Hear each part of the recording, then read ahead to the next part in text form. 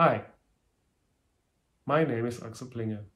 In this video, I'm going to summarize the paper Recipes for Post-Training Quantization of Deep Neural Networks.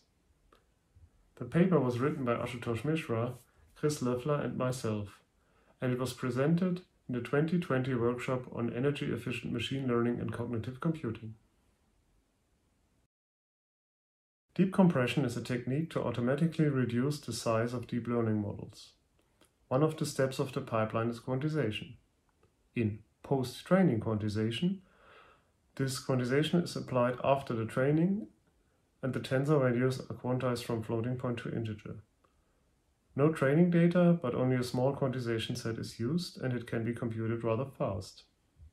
In the paper, we investigated four different ways of applying quantization globally over the whole model, per tensor but with identical bit width per tensor, per tensor but with different bit widths per tensor applied in a greedy fashion, and quantization per tensor with variable bit width in the two-step approach we introduce here.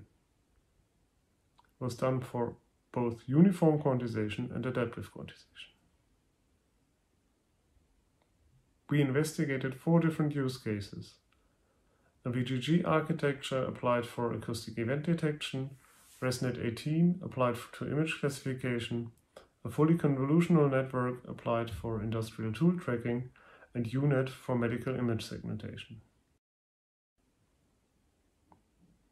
Our results show that adaptive quantization performs better than uniform, TensorWise is working better than the global.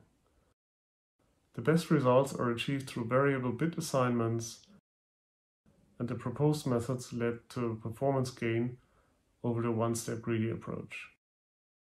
That was it. So if you like this, feel free to download the paper. If you have further questions, you can also drop an email. See you around. Bye.